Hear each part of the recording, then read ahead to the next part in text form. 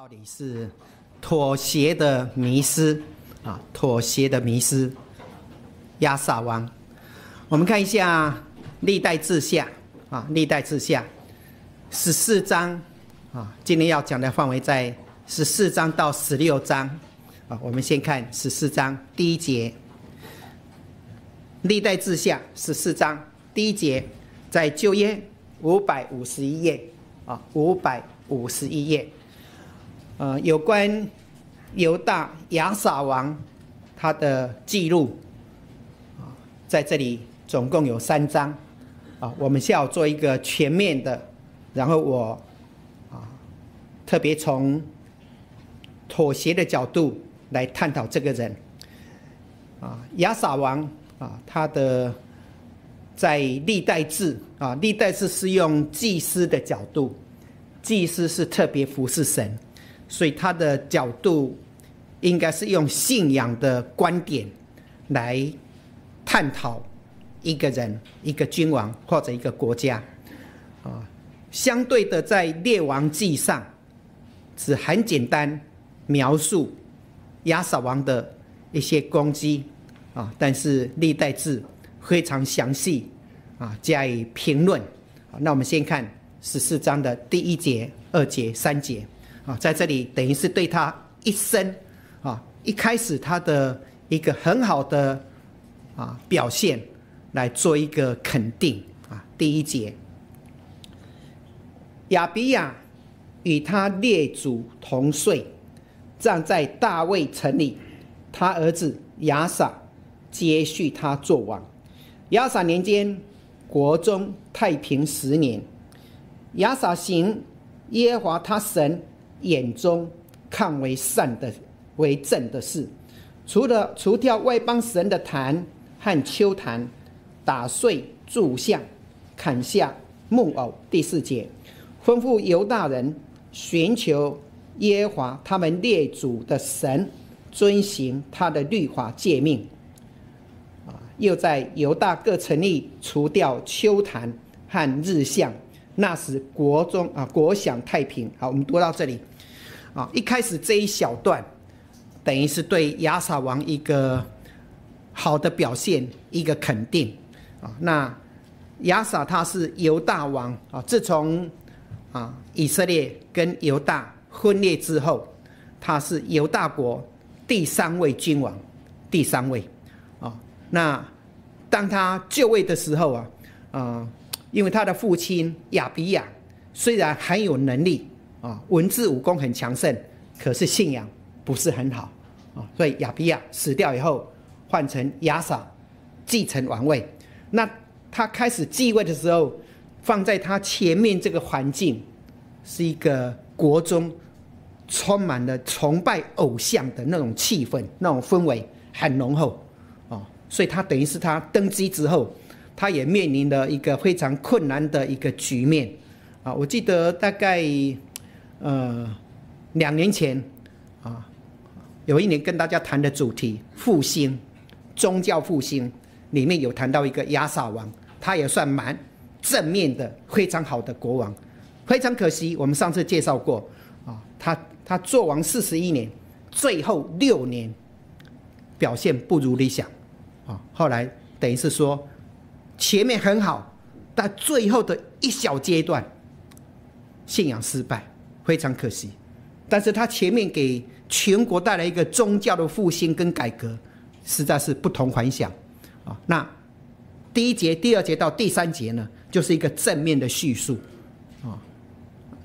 我们在读历代志的时候，我们要注意那个第二节，第二节有一句话，那等于是一个一个看一个君王好坏的标准。历代志啊，历代志。只有用一句话来衡量那些犹大君王好还是坏。第二节他怎么说？亚撒行耶和华他神眼中看为正为善的事。哦，这是一个标准。不管他有什么对国家的建设也好，宗教复兴也好，他他有什么能力呀？有什么德性？好，通通总括起来一句话。可以把这句话，我们说放诸四海而皆准，啊，衡量犹大王差不多将近二十个，包括那些失败的啦、篡位的，差不多二十个，啊，犹大王，你可以用这一句话这个标准来衡量，只要有这一句话的那些王，大概不错，啊，那在这里行神眼中看呢，哦，你如果哎乍看之下很简单，其实不容易呀，行神眼中看为好的，不是人家看的好的。不是自以为好的，也不是别人看，不是人眼中看的，是神眼中看他行得善又行得正哦。神看为好又是正的事，哎，不容易哦。你如果用这个标准来看，世上有有几个人能够通过这个考验？神眼中看为正、看为好的事很少。一开始，圣经历代志的作者就用这个来形容。亚撒王，啊，那他他以下的事情都是对他这个事情的一个一个说明啦，包括他的建设啦，包括他的信仰，所以他带来一些信仰的改革跟宗教复兴。啊，改革可能是片段的，但是后来他整个全面性，整个全国的信仰恢复起来，恢复热心，哦，那是整个复兴的高潮。在他的前面，他做王四十一年，前面大概前半段，甚至前三十年都很好，到他三十六年以后开始走下坡，很可惜，啊，所以有时候时间对人是一个考验，啊，以前很好，信仰很好，表现很好，一段时间哇，擦掉了，啊，可能放松了，可能自得意满，自高自大。可能变质了，所以时间会考验一切。有人说时间会说明一切，的确是这样。好，所以信仰能够坚持到最后，真的是哎，要要神特别的照顾跟恩典。好，那我们在这里哈，他在这里讲，他除除掉第三节他的一些作为了宗教改革，除掉一些偶像，偶像除掉，偶像坛除掉啊，包括各种的柱像、条啊熊。还有各种木偶，通通毁掉。好，第四节有个蛮关键的。如果说第三节是一个消极的做法，只是把那些污秽的、不好的除掉以外，第四节是一个正面的。啊，这个我想对我们今天也有帮助。第四节哈，吩咐犹大人寻求耶和华他们列祖的神，遵行他的律法诫命。啊，他吩咐犹大人，因为他是犹大王嘛，所以他吩咐。他的同胞要寻求神，啊，寻求，啊，要遵行神的律法，遵守神的道理，啊，守神的诫命。所以他有回归的非常具体的一个聚焦在一个问题上：寻求神，守神的道理。简单讲就是这样，寻求神，因为后来有先知起来告诉他们，你们的很多前辈。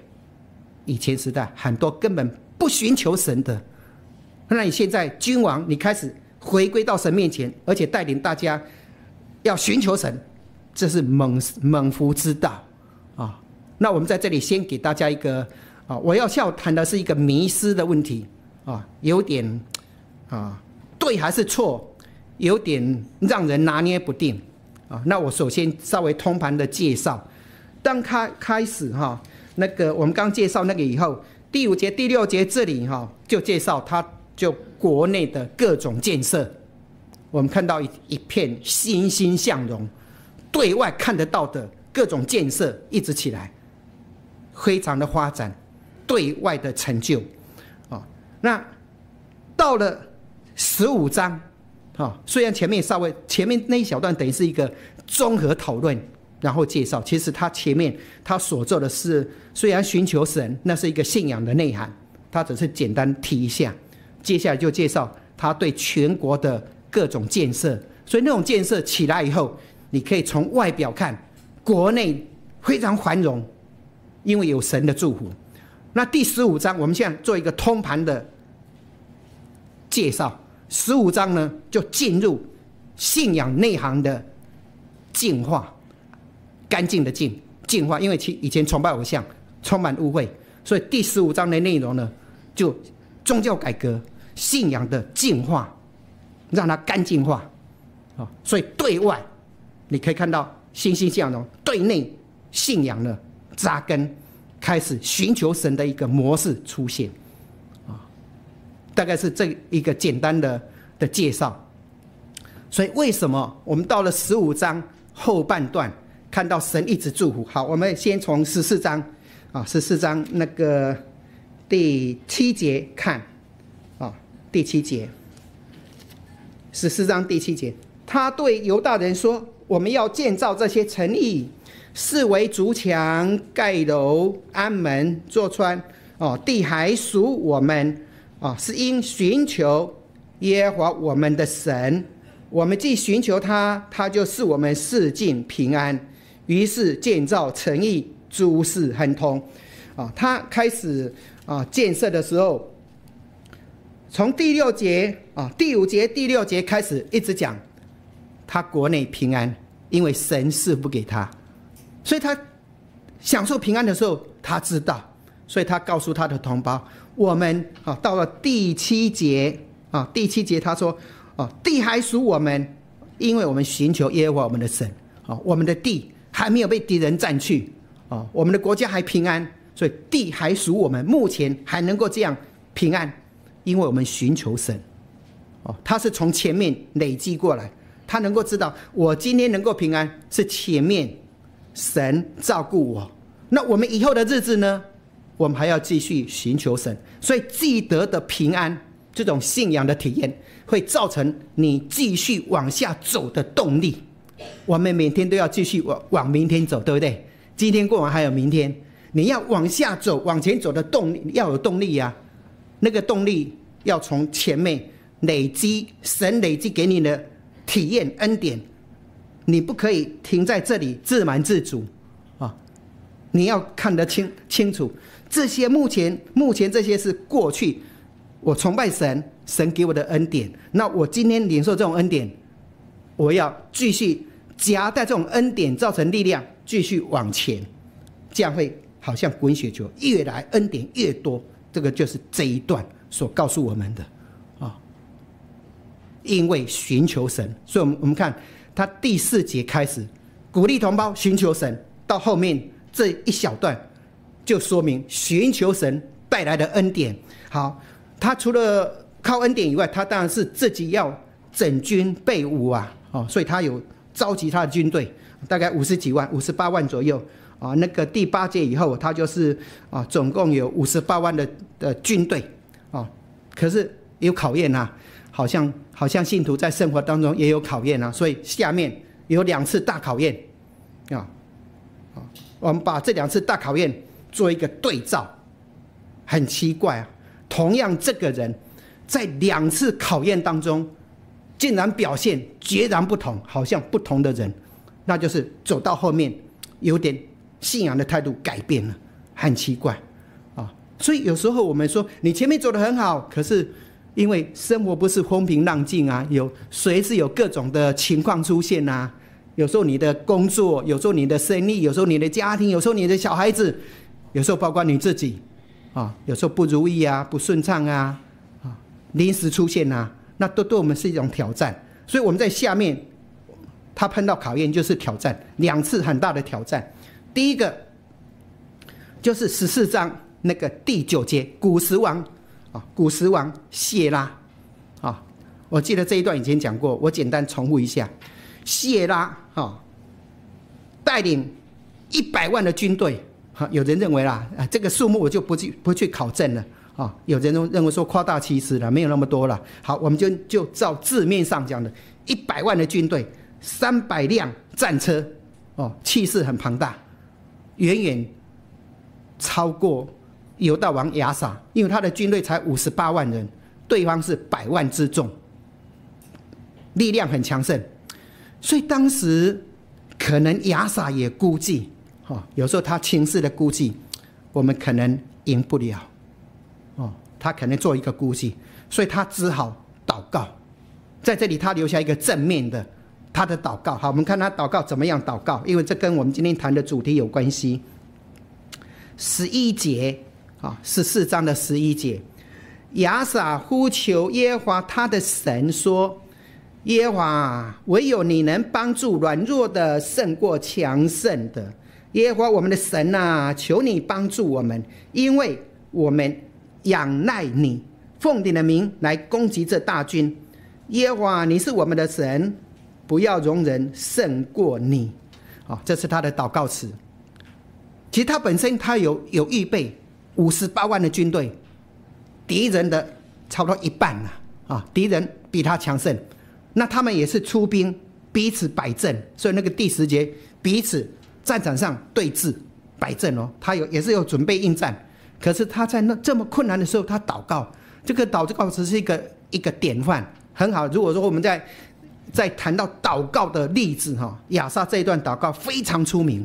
他说：“神啊，只有你能够帮助软弱胜过强盛的。”他把自己定位，这两两边我们是属软弱，对方强盛。他说：“只有神，你能够帮助我们逆转，你能够帮助软弱胜过强盛的。”啊，那有一个哈，我我要强调就是说，那个第十一节啊，他说：“求你帮助我们，因为我们仰赖你啊，我们仰赖你，我们要依靠你了。”哦，他这个祷告很迫切，基本心态就是祷告神。他完全不谈，他预备多少，什么都不谈，他就把这个做一个衡量，一个结论。我们算软弱的，啊，求神帮助我们，因为我们要仰赖你，啊，靠神的灵去战争，啊，结果神帮助他，真的得到很大的胜利。后面我们就不不谈了哈。神，你看十二节，他这种心态，圣经这么写。于是耶和华使古时人败在亚撒和犹大人面前。谁让谁失败的？神让敌人失败。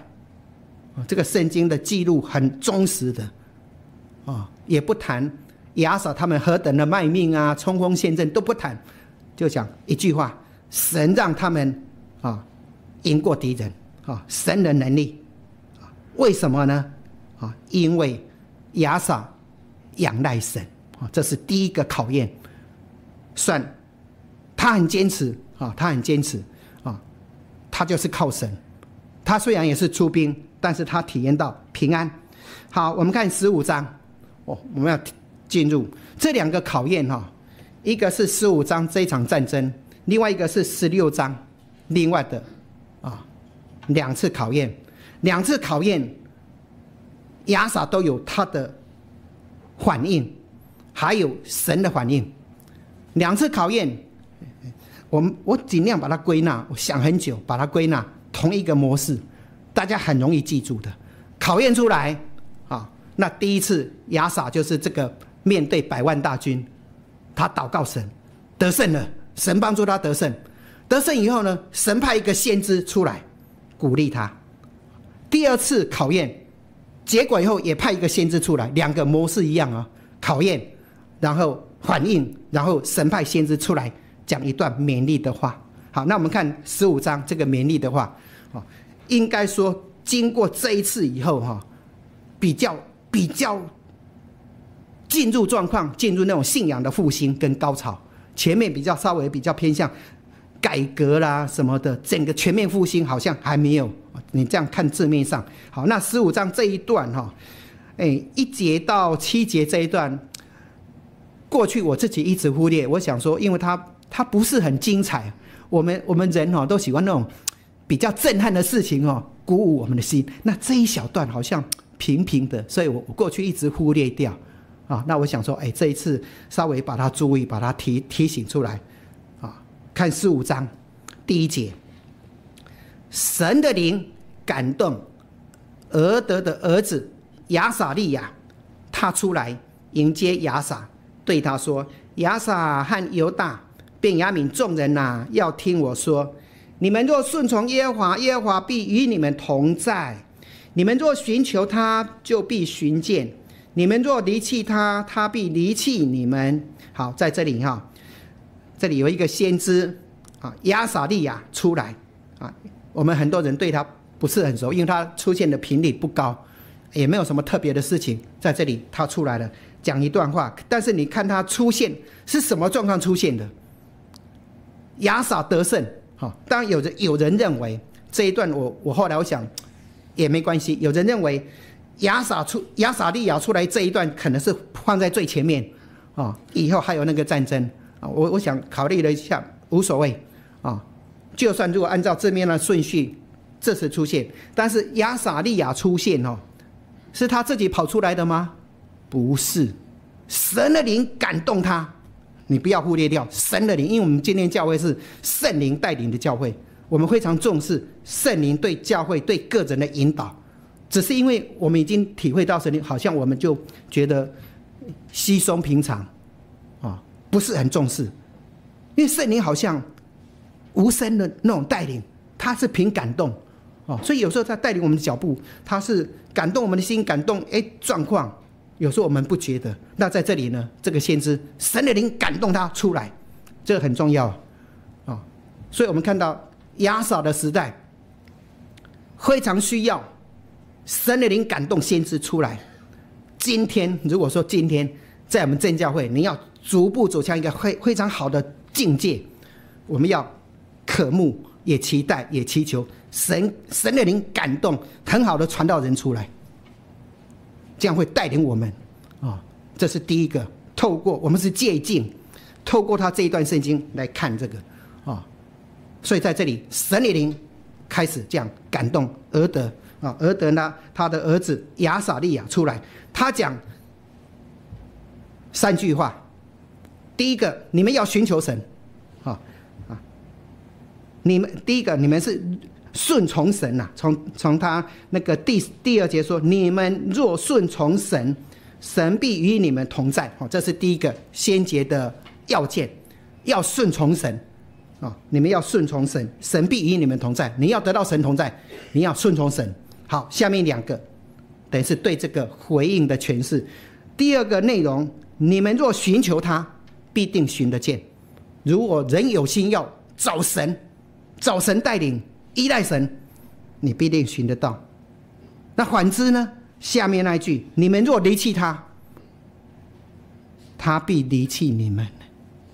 所以他这里是正反，所以关键就是你们寻求神，神必让我们寻见。那问题就是我们的态度：你要寻求神还是离弃神？就是这两个。好，那我们刚刚那个对百万大军古时的战争，他就是寻求神，得到胜利。第二个考考验，离弃神，神也离弃他，很简单的一个概念，很清楚啊啊！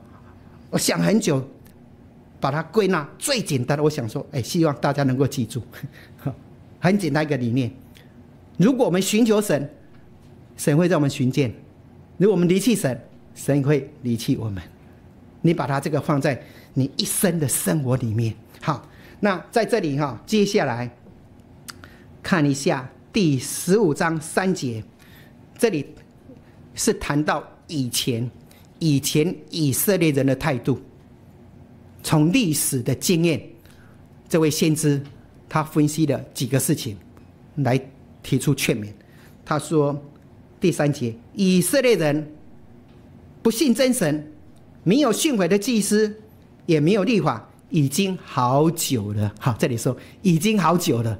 所以在亚撒以前，啊，那些国王，啊，如果说犹大王第一任罗坡安，罗坡安不是很热心的啦，啊，亚比亚虽然很有能力，信仰不是特别重视，所以不算好玩，哦，所以这里这个先知说哦，被神的灵感动。你们不寻求神，不信神已经很久了。第一个不信真神，很久了。第二个没有训会的祭司，祭司是服侍神，训会的祭司没有讲解律法了，没有人指导你们道理，没有人讲解怎么懂呢？特别是就业时代，那个更是专职的人员啊，没有训诲就是教导啦。训导训会啦，哦，第一个你看不信真神；第二个，好没有没有训诲的祭司，造成百姓呢没有的道理，没有律法。你看从上到下一连串没有道理，这整整串连起来，你还寄望说整个国家能够蒙福吗？不可能啊！好，所以第三节最后说啊，这种现象已经好久了，但是神很慈爱，所以第十节讲，他们在极难的时候归向以色列神，寻求他，神还是被他们寻见的。神没有真的遗弃他们呢。问题是在急难的时候、着急的时候，你有没有回归到神面前？过去那些以色列百姓虽然没有寻求神，还好他们在碰到最灾难的时候，还会想到神，寻求神，神还是看顾他们呢。这是过去的一段经验。那这位先知现在提醒出来，告诉他们。所以等于是两小段，第一段就讲说怎么样能够得到神的同在，然后用第二段用历史过去的经验，你们的祖宗就没有信回的祭司，没有立法啊，所以国家不会兴旺啊。还好在急难中会寻求神，我们要记住，有人有人认为寻求神哦是历代志作者非常喜欢用一个字眼，寻求。切救心了，不管什么状况，你在很富裕、很得意的时候，你不要忘了神；你在落难的时候，啊，也不要忘记神。不管环境好坏，你都要记得寻求神。那个寻求有包括跟神不断的交通、敬拜、联系的关系，而不要断绝了。好，这一小段，所以这个讲完以后，哎，亚萨有反应啊。啊，有反应，他的反应是正面的。他听了以后，哇，很感动，哦，所以他真的是有心振兴他的国家，哦，所以他听了以后，哎，我们就看到这个道理对信仰个人内心的冲击，还有对群体的冲击，他就带领全国把那些剩下的偶像通通除掉，更彻底，啊，把偶像偶像坛通通除掉，然后建立神的坛，啊，敬拜神的坛。啊，然后要求百姓，大家立约，回归到神面前，哇！结果带来很高兴啊。那个立约就是说，做我们做神的儿女呢，我们要很热心侍奉神。我们看一下他们立约的结果，十五章的十四节。好，我这里讲很快，很快我就带过去了哈。十四节，他们就大声欢呼、吹号、吹角，向耶和华起誓，犹大众人为所起的事欢喜。因他们是尽心起誓，寻求啊，尽意寻求耶和华，耶和华就被他们寻见，且是他们四境平安，啊，在这里啊，十四节开始，他们欢呼、吹号、吹角，向神起誓，大家皆大欢喜。你看，喜乐，喜乐，洋溢在当中，哦，前面是尽心向神起誓立约。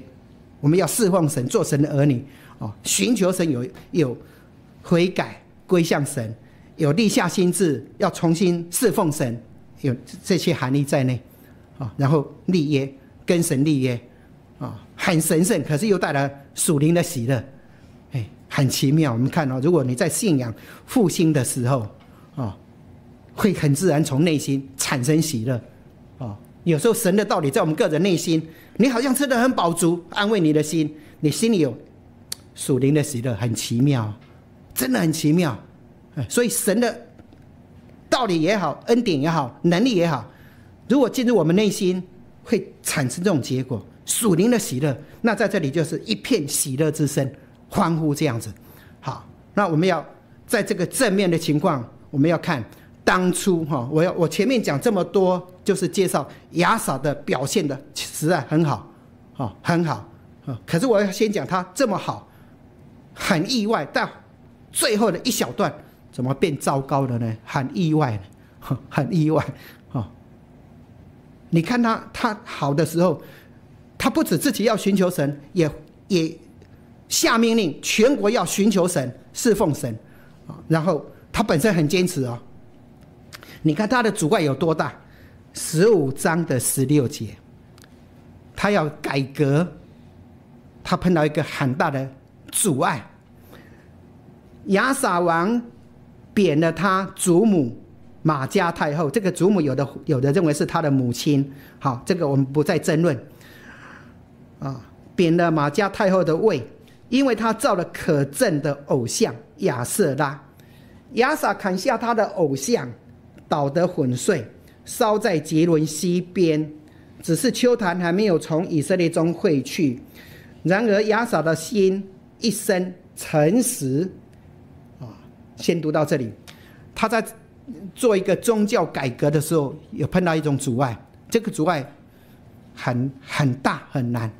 他的祖母马家太后竟然是偶像崇拜者，也造偶像啊，有这偶像，哎，地位很崇高，会影响全国的人啊。他本身竟然崇拜偶像，还有啊，还有那些啊，这里讲。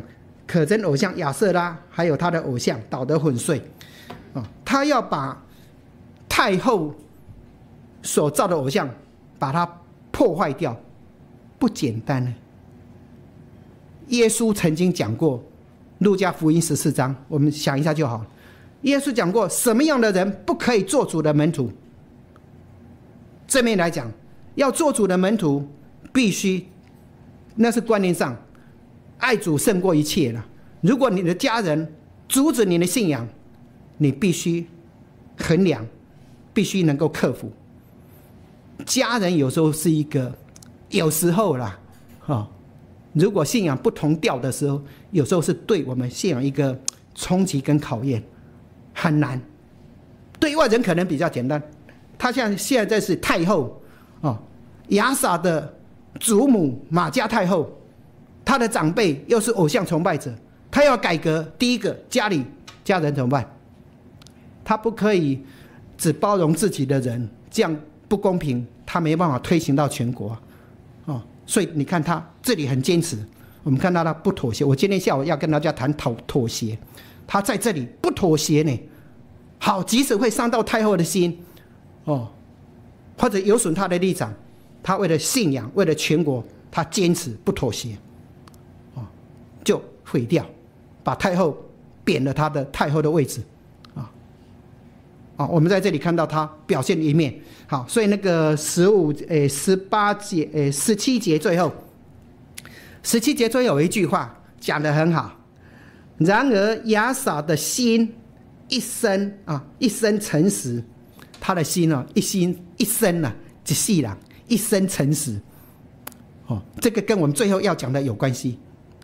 很可惜，他到最后一生诚实的心哦变了，好，在最后丢掉的啦，没有了。一个人一辈子啊，那么长时间保持对神很忠贞，一生都很诚实面对神的，到最后几年竟然遗失了，很可惜。哦，所以在这里先对他一个肯定呢，一生诚实的呢，哦，好。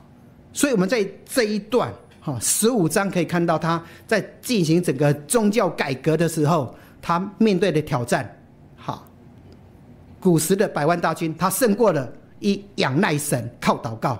所以先知给他一个鼓励，要怎么样会更好？他做得更好，他的反应也是更好。好，好了，经过了一段时间，啊，那个十九节，十九节，从这时直到亚撒三十五年。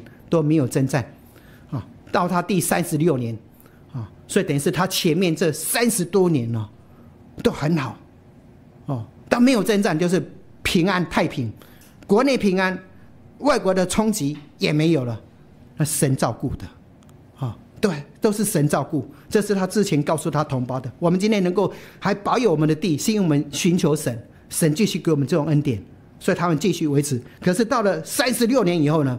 另外一个考验来了啊！我们一辈子，我们要记得，我们彼此勉励啦。我们人哈很难说一辈子风平浪静，但一一路很平安走到最后的。有时候到年老，考验还来呢，所以要求神保守我们。好，所以他到这里最后的大概五六年啊，大概最后五年。另外一个考验来的，我们看十六章，好啊，十六章第一节，亚撒三十六年。以色列王巴沙上来攻击犹大，修筑拉玛，不许人从犹大王亚撒那里出入。好，这是另另一个考验。我们在这里，这就是拿出第二个考验啊。他第三十六年，以色列王巴沙，因为那时候以色列跟犹大南北朝已经分裂了啊，这两国哈欢喜冤家，有时候和好，有时候和亲，有时候吵架啊，不一定看看两边的君王的态度，有时候和好，有时候战争这样，那这时候是战争。那巴沙也算那时候也算蛮蛮强的以色列王巴沙啊，在这里那个以色列王巴沙啊，他就下来攻击犹大，在拉玛那个地方啊修筑，他们跟好好像那个有一条界限，好像南北朝界限 分开，不准通过，断绝这样的啊。那因为那时候以色列王巴沙力量还蛮强的，我们看。看到难题了，啊，亚萨怎么去处理？很奇怪啊！如果哈，把他这现在面对巴沙的这种挑衅，巴沙就是把他的道路断绝嘛，不准人来往啊，南北朝不准来往啊，然后在那里修筑，等于是公事这样子啊。如果面对这个问题，跟我们刚十五章前面那个。古时王的百万大军来比哪一边哪个困难来的大？我们想象应该是前面那个来的大，后面这个比较简单，对不对？哦，那或许是比较简单，原因我们不知道，我也不知道，我们只是看到他记录这个事实，圣经没有讲他的原因，为什么他要这样做？所以有人猜测，是不是因为前面已经平安三十多年了，哦，都没事，然后。这个问题好像比较小，啊，有时候我们将心比心，碰到比较小的难题哈，我们比比较没有那么在乎。虽然有困难，会想尽办法去克服，还没有拼死祷告求神带领。哦，有时候那个难度越大，我会越越迫切呀，是不是也有这种这种关系？不晓得，哈。但是就是这个时候，亚撒呢，他他可能用那种外交的手段。人为的方式，透过外交手段，他就去买通，买通那个啊亚兰王。我们看第二节，十六章第二节啊，这一段是主要我今天跟大家谈的一个重点，他的手段啊，他的手段，然后造成的结果。十六章二节，于是亚撒从耶和华殿和王宫的府库里拿出金银来，送与。住大马色的亚兰王便哈达说：“你父曾与我父立约，我与你也要立约。现在我将金银送给你，求你废掉你与以色列王巴沙所立的约，使他离开我。”好，下面省略。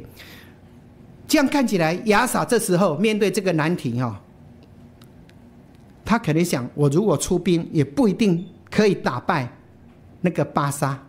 打败北朝那个王，他可能也拿捏，或许他根本不想出兵，他就透过那种外交的关系啊，然后送一些礼物去给亚兰王，亚兰就是叙利亚啊，就是后来的叙利亚亚兰，他去找亚兰王说这样子，他跟他谈条件哦，这是透过外交手段，用我们今天来讲外交手段，用人的方式想办法外交手段。他提出三个三个条件，亚拉王接受，哦，他接受哦。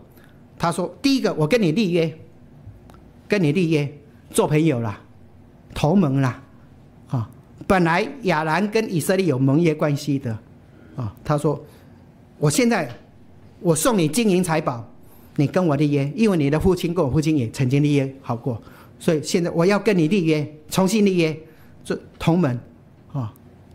亚兰是外族人、外国人，他想去找外外族人。好，为了要达到这个约能够继承事实，他提出第二个条件：我送你金银财宝。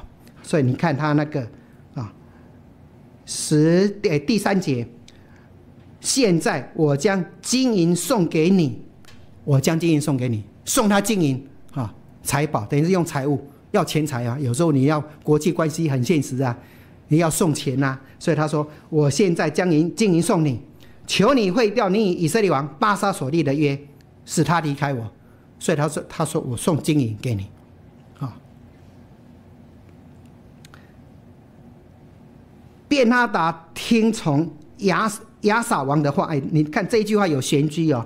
第四节，便哈达。听从亚撒王的话，他是听他的话他同意啊。哎，你这个条件不错，只要我会掉啊，跟那个巴沙立约，重新跟你立约，你就送我金银啊，你就送我金银。所以便哈拉听了当然高兴啊，所以他就出兵，真的出兵去攻几个地方。第四节那里几个地方。巴沙听见就停工，不修足拉玛，啊，不修足拉玛。在这里哈，你看那个第二节，我们回归到第二节这里。于是亚撒从耶和华殿和王宫的府库里拿出金银来，送与大马色的亚兰王。他这个金银从哪里来的？两个地方。一个是神的殿，另外一个是王宫里的王王府库的支出，从王的府库好单纯可以，他还从神的殿里面，神的殿是神的金银财宝，神的钱呢，等于是他在这里啊，跟便哈达立约啊，同盟挂钩，然后送金银财宝，那你附带一个蛋书，这个金银财宝是从神的殿偷钱出来的。神的殿的金银是属神的嘛？我们说你拿了不给神，或者拿了，我们说奉献十分之一，你不奉献是偷神的钱嘛？那你今天已经继承事实，从神的殿拿金银财宝，更是偷神的钱呐！他偷神的钱去跟外族人挂钩来打，哎，被抄。你说这样神会高兴吗？可是一个问题，我们讲妥协。会让你迷惑，这个不对，哎，不对，怎么有效呢？有没有效？有啊，百分之百有效，马上看到呢。他金银送出去，好，便哈达出兵，巴沙马上收回去，马上撤撤掉，啊，公事财物那个木头石头都不要，都丢掉了呢，还能够去，他们还去抢呢，能能够建设两座城呢。你看那个财物留下多少？所以那个巴沙哦，有有吓一跳，因为便哈达出兵了，开始攻打，所以那个记得的结果马上看到呢。你不如果说哎没有效果哇，跨破没有用，那比较容易啊。有时候我们今天会有一种错觉，如果说你说我的手段不对，应该没有效，那你说他手段不不对，怎么效果那么好？这个效果是造福全国的呢，同胞不用战争，国家平安，何乐不为？如果说这个不对吗？所以有时候我们会有种迷失了疑惑。你说他这个手段、这个处理，透过外交不对吗？啊，我们肯定要讲，可能对一半。神不是把我们造成机器人，不能思想，不是。但是神希望。当你绞尽智慧用很多方法的时候，你不要忘掉依赖神，神的这一部分你不要把它切割掉，他在这里就完全切割。所以我们看，当他这个事情结束以后，神又派另外一个先知马上来了。第七节，看一下第七节，这个其实一个故事很精彩哈。那时先见哈拿尼来见犹大王亚撒，对他说。因你仰赖亚兰王，没有仰赖耶和华你的神，所以亚兰王的军兵脱离了你的手。好，第八节，这里是举前面的例子。古时人、路比人的军队不是甚大吗？战车马兵不是居多吗？只因你仰赖耶和华，他便将他们交在你手里。好，所以这个先知哦，很会讲话。他讲两个，一个是。原因，为什么今天神派我来警告你？第二个是例子，之前的例子，啊，你的关键在哪里？你仰赖亚兰王，仰赖人，不仰赖神。哦，这里他的问题出在这里，你只单单依靠人，不依靠神。哦，我们可以想很多方法，你不要把那个仰赖神那一部分把它摒除掉。啊，所以神不是说让你永远是一个笨蛋，不是。你可以碰到事情，你可以有回应，但是你不要忘记仰赖神。在这里，亚撒这么聪明的人，他算有信仰的。经历跟体验呢？哦，他的一生哦，前面那么长的时间有信仰的体会啊，对古时的战争不可能得胜，他祷告神让他得胜，神机呢？后来那个亚撒利亚先知出来，神的训会出现，两个神机还有道理同时出现了。我在读这一段呢，我把它。借镜到今天，今天真教会有的是什么？圣灵、神机、道理。神机我们常常体验，道理常常有，可是我们很软弱，常常忘记神。碰到事情常常靠自己，有时候我们不觉得，我们只我们只看到结果啊，我好了，这个方法有效，就不去忌讳。你不要说他犯错，好，他有效有效果了。哦，我们就是因为有效果，我们会认为说，那也无可厚非啊，也不算错啊。可是你看他做完这个事情有效果，神马上派另外一个先知哈拿尼来了，就警告他一个关键：你只仰赖神，仰赖人，不仰赖神。第二个举例，之前那个百万大军，不是比现在困难多吗？